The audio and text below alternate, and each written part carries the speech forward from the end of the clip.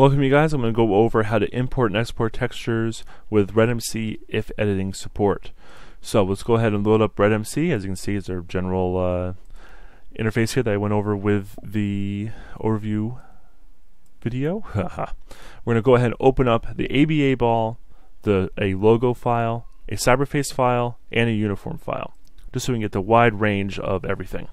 So whenever you see a TXTR right here, is a it, well, it's a texture, and um, you can go ahead and export this and import this as you need to. So let's take the uniform top of the uh, uh, what is this? The Hawks practice uniform. So go ahead and export as DDS, and we'll just throw it right on the desktop. As you can see, it automatically renames itself. Let's go ahead and open it in GIMP, and we can close it up. So this is our basic texture. We know this by now. Um, we can um, get rid of the layer mask to get the full texture and edit it as we wish. So let's say we just want to sign it uh, on the back. Ciao. You know, that looks really crappy. so let's do something different. Um, let's go ahead and resize this image to double the resolution.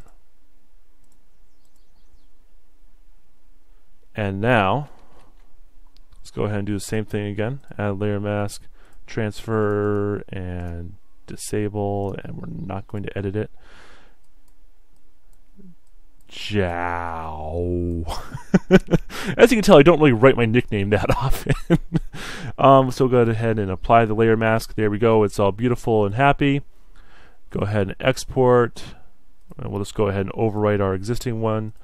Uh, and we'll just go ahead DXT5 generate mipmaps. And nice thing is that RedMC is more flexible with uh, the formats that you import in.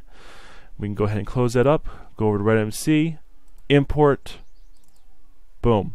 You can also right-click files and export and import as you need to. You can also select multiple files and export all the files if you want and make a big mess on your desktop. so there they all are. Beautiful. Um, what else? What else? What else? So let's go over to the uh, faces. Same dealio. If you have a uh, texture, import, export the same exact way. Same with the logo. So let's say for um, NBA Jam Mod, we want to uh, make this logo kind of retro, right? So let's go to image and we'll scale the image down to 64 by 64 and we're going to have nothing for quality. So now, when it shows up in game, it's going to look like that. So that, that's pretty good for NBA Jam, right? Go ahead and export this, and that's fine. We'll close that up, minimize, and we'll go ahead and just right-click here, or you can press Control I, Control E, which is very useful. Import, replace, logo. Now it's resized the logo down to that size. We don't have to do any tricks or anything. Nice and easy. Resize the logo. And as you can see with this one, I didn't check that. Um, it's now 1024 by, or 2048 by 1024. Nice and easy. Then for the ABA ball, as I went over in the in the overview, um, scene files can sometimes have textures embedded in them. So let's go ahead and export embedded textures. Let's create a new folder on the desktop and just import them there. Load this up, and as we can see, we have four different files. And we can do the same thing as we've done with the other ones with these files. Uh, if you want to make sure you got the right uh, format for these files, you can uh, load them up in a hex editor and just see the DXT5 um, or DXT1. So let's go ahead and we can uh, image scale this up to what? What did I make that one I love so much? I think it was like 48. No, it was 4896. That was it. So something freaking huge, right? Ooh, that's to take a bit. and now it's all blurry and crap. I mean, you can do image editing to make that all better. Main thing is I can go right here and just type in and just really joust. nice. And there. Now I have a nice merge that down.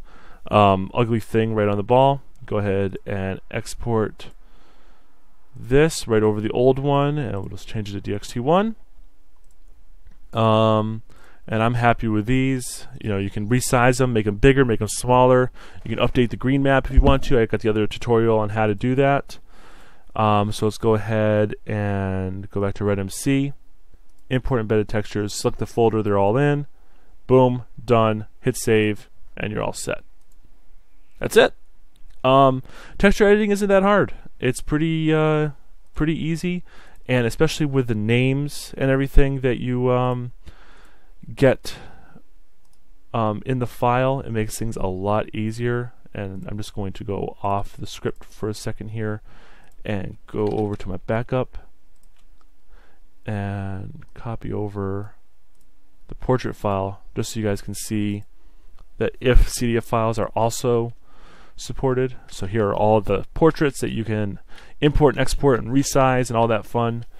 And it works just the same as any other texture. You just right click, import, export, or import, export here, and you're all set.